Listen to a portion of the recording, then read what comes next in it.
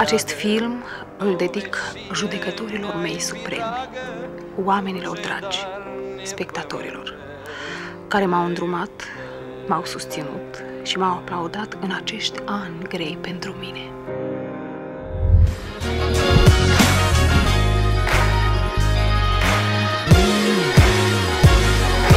thank you